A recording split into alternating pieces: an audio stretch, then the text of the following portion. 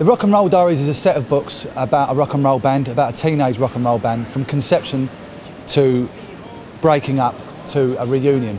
Because I've been in the band for many, many years, I decided I want to write about some of the experiences I had. It's a fun sort of take. I mean, it's not a very serious kind of look at it, but um, there are serious moments in it.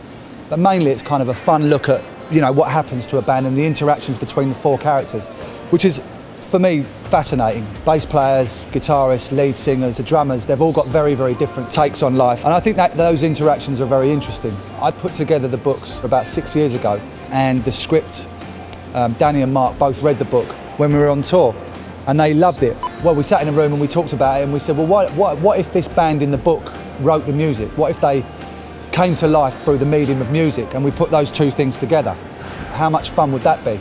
So we started to conceive this idea, and you know, it snowballed basically, and we started to write the music for the book. It's all online. You can get free chapters of the book um, on our splash page, which is therockandrolldiaries.com. It's all for free, so basically we just want people to go on there, download the chapters, download the music, and tell us what you reckon.